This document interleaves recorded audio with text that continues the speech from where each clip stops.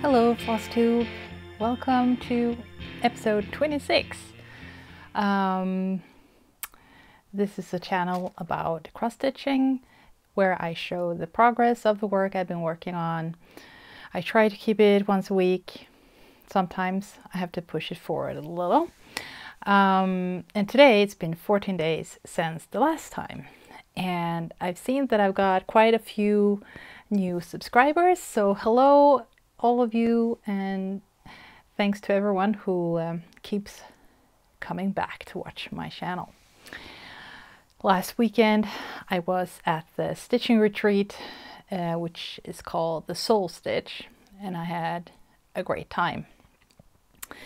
Uh, it was a bunch of women meeting up and stitching together.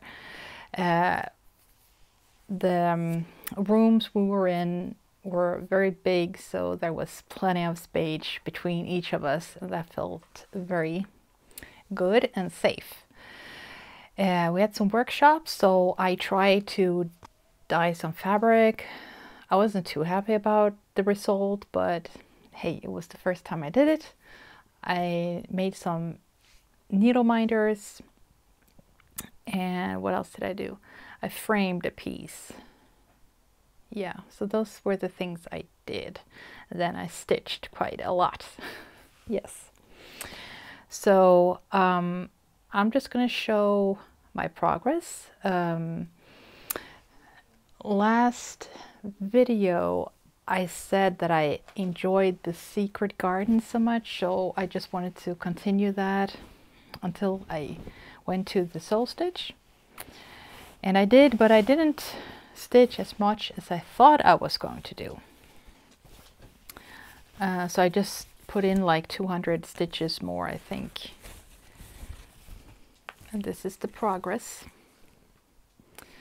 of the supersized max color uh, secret garden and I'm really enjoying this. I loved the, the colors and how all the mix together becomes books and trees and leaves and I really enjoy this one actually. And I'm starting to lean toward getting maybe two or two to four um, focus pieces for my heaven and earth uh, and try to just work on them to get some progress. I want more than just a page finish. I want a little bit more. And that's thoughts that I have gotten after the Soul Stitch retreat.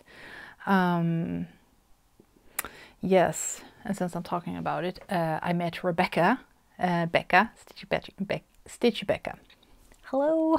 It was such a great thing to meet you. Um, she's just as nice as she seems to be on her floss tube. And it was, it, I think I made a, a stitchy friend and uh, it was really, really, really nice. So, and we talked about uh, works that we were stitching on. And she did mention the um, uh, softest steel piece. And I was like I think that I've kind of stitched 17 18 pages already? And that's quite a lot I think I have about 25% finish on her. And I'm like why don't I stitch a little bit more on her? I might get a finish you know? Yeah. So I stitched on that and then I don't know why, but I felt like hmm, I want to stitch a little bit more on my uh, supersized uh, Fantastic Voyage. So I actually put in a few hundred stitches there as well. Let's see, where's the beginning? Here it is. So a little bit more on that you don't see a lot of uh, difference on it, but it's quite nice. I like this fabric a lot. And I'm stitching most of my Heaven and Earths on 25 count. And then Soul Stitch came. And the first evening there, I went there already on Thursday and I stitched on my uh, long dog sampler.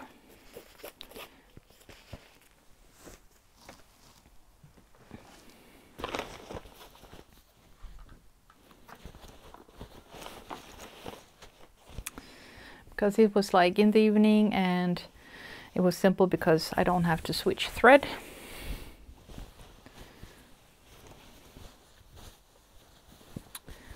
So I got a little progress there as well. I stitched uh, this part here. So yeah, it's very nice. It's very enjoyable actually and I like that symmetric thing going on. And I'm stitching this on 32 count. I think it's 32 count yes. And I'm using sulky threads.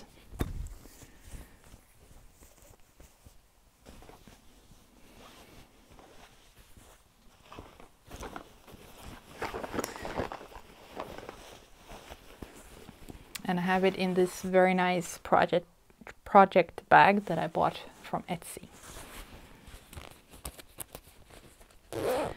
So that was Thursday and then on Friday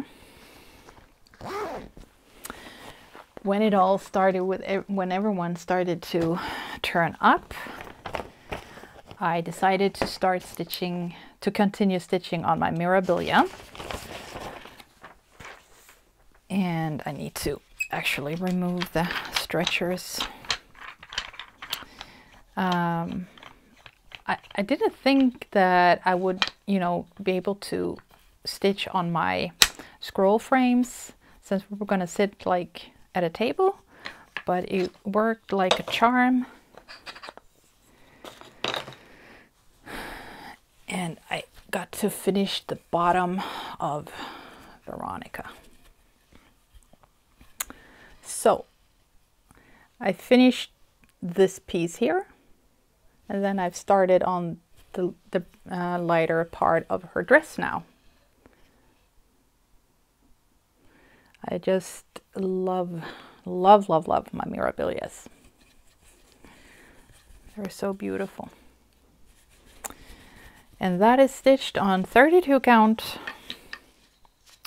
linen, uh, which it's uh, it's called for. We'll just put it over here. And then I finally got the fabric for my Deliziosa, my new Heaven and Earth start. And I have been hooked on that uh, project since. So I have stitched over 3,000 stitches, I think it is. And 1% is done. And this is the top left corner. And from this distance, it's, uh, oh, it's so beautiful. I'm just really enjoying it. It's the colors are a little bit dull. Um, so uh, at Soul Stitch on Saturday, when I was stitching the top uh, of the piece, then I felt like it was enough. Um, but when I came back home, I just, you know, I just kept on stitching and I really enjoyed it. and I'm almost, almost to the half page. And I know that when I get to the bottom of the page, the fountain in the background, which is taking up quite a big part of the picture, is already coming, you know, so I want to continue. Uh, so I will not spin the wheel uh, this week either. I will just continue on my Deliziosa. I want some progress in. I hope I can, you know, I feel kind of stuck to this at, at the moment. I hardly want to stitch my mirror at the moment. I just want to keep on. So I will keep on and see if I can get just a little bit more progress. Oh, and we got these cool clips uh, from the Stitch Retreat to hold the fabric uh, away from the back. Very nice. So those are um, the works I've been working on and I will continue stitching on Deliziosa and my Mirabilia. So those are the two I will continue on. And so I'm not sure I will continue with the wheel uh, because I started to feel like Soft Steel, Deliziosa are two heaven and earth I want to get some progress in. But then I would really like one of the, the bookshelves. So I have my secret garden, I have my travel uh, bookshelf, which I have already stitched eight pages of, and it looks amazing. And then we have the Secret Garden, which I'm really enjoying the colors and everything. And then we have the Fantastic Voyage, which hardly anyone is stitching. And there's some cool um, stuff going on there. And then I have um, the Once Upon a Fairy Tale, which I feel still pretty negative about, so I'm not sure. But I want one of those as well. So we'll see. Now, at the Stitch Retreat, I bought some stuff. I bought this magazine, World Cross Stitch, and it is, can I see which month and I don't know.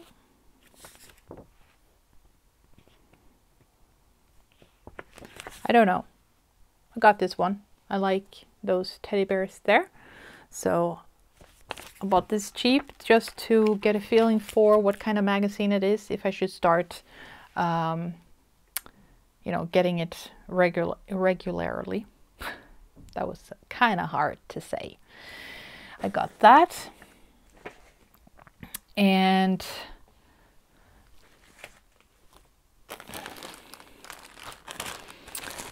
I got myself a Mirabilia. There was one lady selling the Royal Holiday. It's one of the mirrors I've been watching for quite a while. I love this one. And she sold the pattern and the specialty threads and the beads. So I got that for a very good price. Um,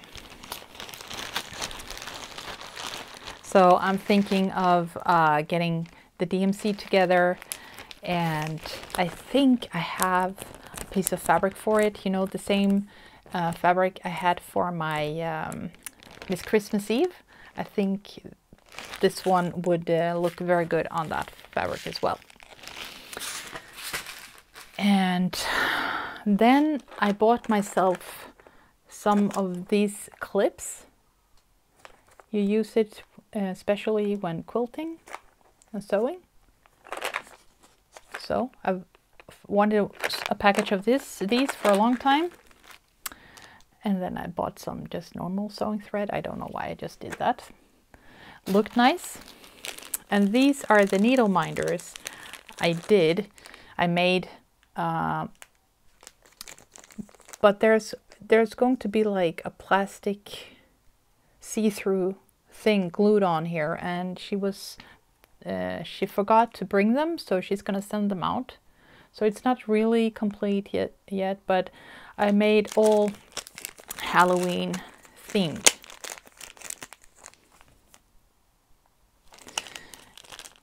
And I had one of these. And this one and this one. So I hope we'll get the final things for these soon. And then she had 32 or 33 cones of DMC and she told us everyone was allowed to get 10 meters of each color. So I got that. Always good to have extra threads. And here is the fabric I dyed. I was supposed to get a piece of linen because I was thinking maybe I could dye something for a Mirabilia, but she hadn't got any linen because we know the situation of the world. So I said yes to a piece of even weave. And so I did. And I don't know the te technique. I didn't understand the instructions very well, so I just tried and it's my first time. So this is, it was like a bluish color with purple. And like this. So maybe, I'm not too proud of it. That's why I don't want to show it too much, but maybe I could use it for like smaller pieces. I don't know. I'm I'm looking forward to the next time because then I know a little bit more what to do. That was that and that and the clips. Oh, yes, and I did. And I, I made a Q-snap. This is how a modern Q-snap looks like. No, I'm just kidding. I made a Q-snap uh, stand where, which you kind of sit on in the sofa and you have the whole thing in front of you. And the thing is that it didn't hold together um,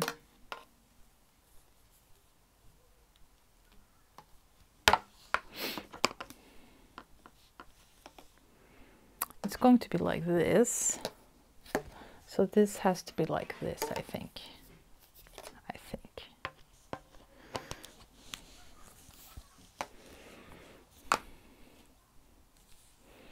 Maybe like this.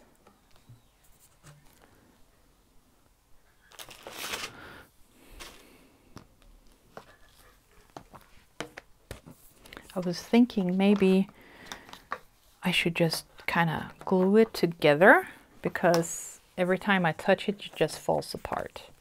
But, you know, the idea of it is really cool. And I actually built it together myself, so I'm very proud. So this is how it looks. So you kind of sit on it, you know, and then you have it like this in front of you. And then I can have like a big piece in front of me like this, you know, stitching. I think that's kind of cool. And I got those uh, snaps here as well. So I did that too as a workshop. And why don't I have the one I framed?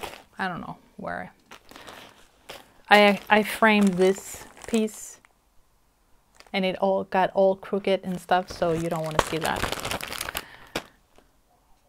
So that's like the stuff I got from Sew Stitch and then I got my queen bee. I got my newest Mirabilia from Hawkins Hobbies. Let's take a look inside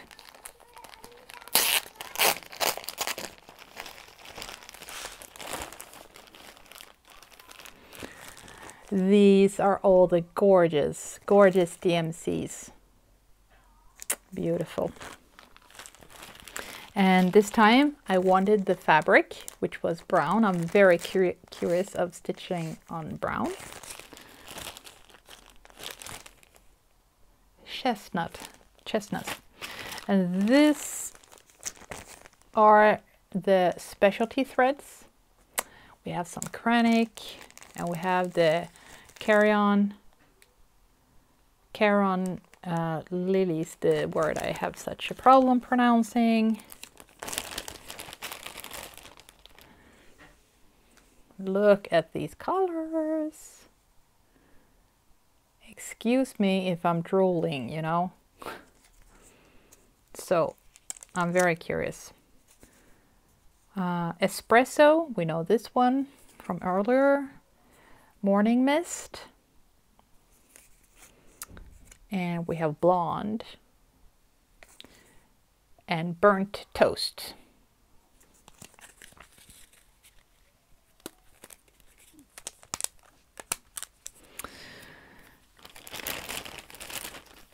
And then we have, oh, all the candy. Oh my God.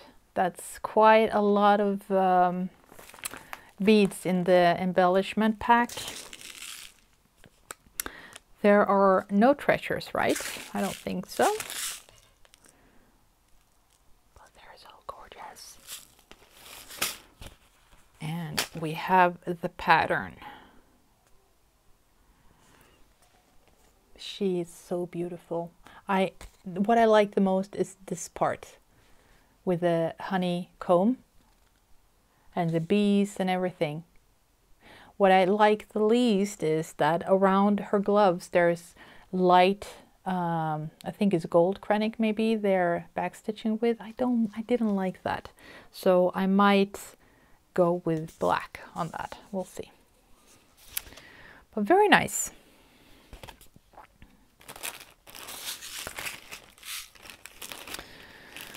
So I will pack that down later. So that's all. I'm going to try to keep this floss tube very short. Um, but we had a giveaway to celebrate fall and autumn. So Lori, Lori sent me the apple harvest pattern, which is 20 pages. It's such a gorgeous piece of pattern. It's very cute. There's lots of apples in it. So cute. Um, and there's bees in it and oh it's so it's so nice. And I'm throwing in the cute little needle minder of the hedgehog. I think I've learned now that it's called a hedgehog. And I'm also throwing in some nice silks as well, just in case, you know. Um, and now we're going to see who the winner is. And I wanted you guys to subscribe, to fill out the form, and to write harvest in the comments of the, the latest video. So let's go check out who the winner is. Have I come to the right place?